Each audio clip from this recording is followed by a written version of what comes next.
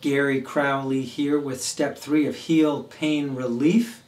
And uh, what we're going to do, very important thing, now we're going to release the bottom of your foot because all of these muscles in the bottom of your foot and your big, thick, strong plantar fascia that takes all the way to your body every time you, you step or, or run, um, if that's tight, that those tendons and that, that fascia connect into this, this heel bone.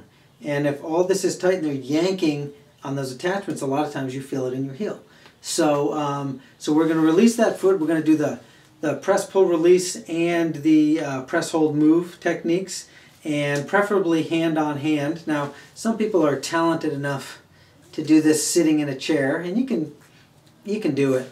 I personally would much rather lie on my back and I can get both my hands in there and get some hand-on-hand -hand pressure. Um, and basically, uh, feet are completely neglected all the time, so there's probably a lot of tender spots. So you can find a tender spot, hand-on-hand -hand technique,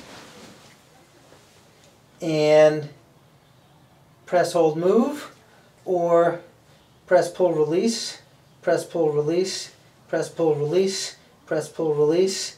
Uh, little combination. I'm helping my my foot move a little bit with the press hold move. Um, but it will let go, but you will find a lot of tender spots here. A lot of tender spots.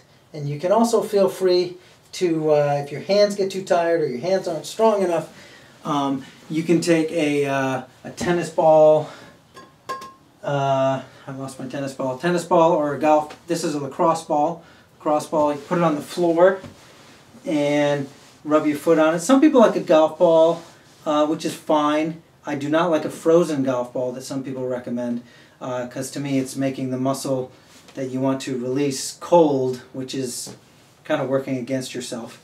But if you put this on the floor, flex your toes up and down, find a tender spot, flex your toes up and down. Now run, rubbing across it like a lot of people do is basically massaging it.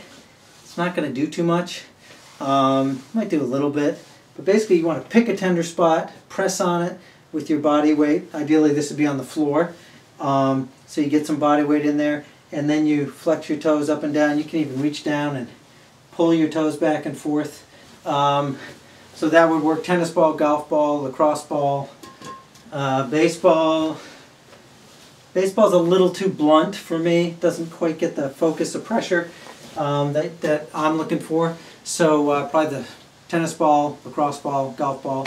Uh, but personally, if your hands are strong enough, and especially if you're doing the uh, if you're doing the hand-on-hand -hand technique, you can really get a lot more pressure than just your one hand.